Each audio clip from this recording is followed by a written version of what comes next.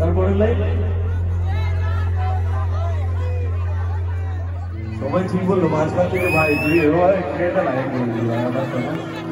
ওটা নিজের তৈরি বাহ আরেকবার আহ। জীবন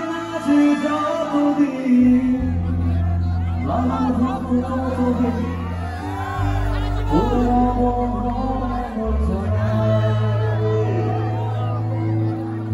কি এই লাইনটাও আমরা লেখা সেদিন কিসের ঘরে ছিলাম জানি না, আমি কোনো নেশা নেশা করি না। এই গানটা যদি রেকর্ড করতে চাই, এটার একটা অন্যরকম লিরিক্স লেখার প্ল্যান ছিল মাথায়। তো বাদলকে ফোন করে বললাম ভাই, এরকম একটা লিরিক্স ভাব। ও বলছে, দাদা, কিছু মাথায় আসছে না, তুমি দেখো।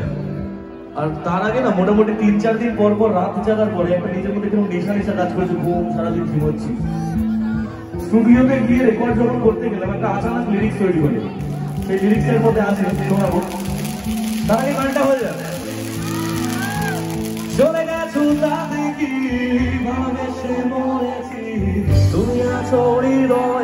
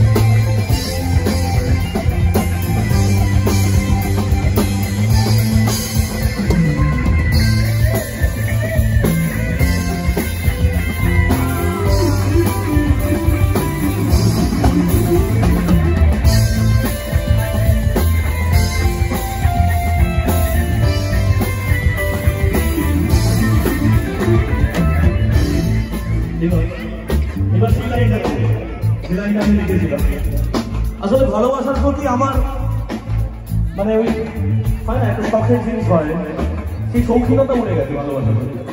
তো তখন একটা জিনিস আমার কাছে মনে হয়েছে, আমার কাছে ভালোবাসা মানে হচ্ছে ভাটের কথা। আর কিছু বুঝি না, ভালোবাসা মানে ভাট এতক্ষণ যা শুনছিলে, সব ছিল ভাটের কথা। এখন বলব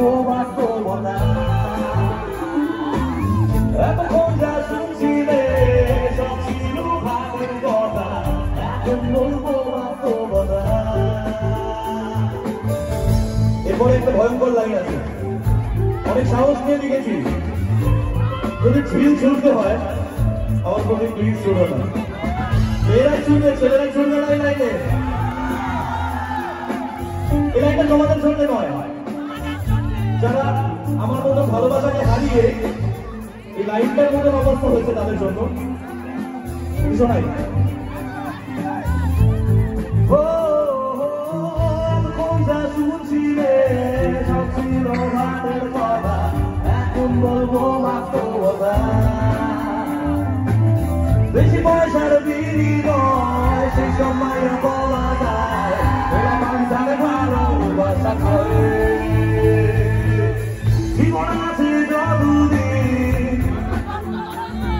এবার হবে নাকি? হ্যাঁ মানে ও জীবন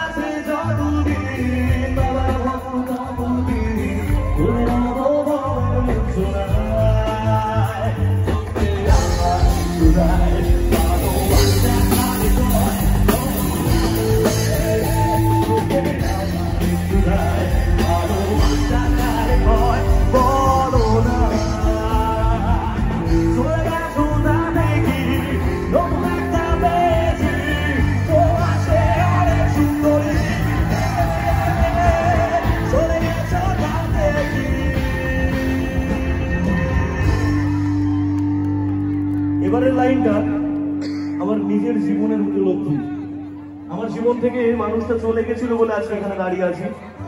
কারণ আমরা মনে করি যে জিনিস চলে যায় একবার, সে জিনিসের মূল্য রাখা উচিত নয়। কারণ ভারতবর্ষ এখনও ইতিহাসের পড়াশোনা করে বলে পিছিয়ে রয়েছে, আর বাকি দেশ কেউ ইতিহাস নিয়ে চর্চা করে না। ইতিহাস মনে রাখব ঠিক আছে, চর্চা চাই না। সেই নিয়ে বলেছিলাম, চলে গেছো নতুন জীবন পেয়েছি। সেটা তোমার চেয়ে অনেক দামি।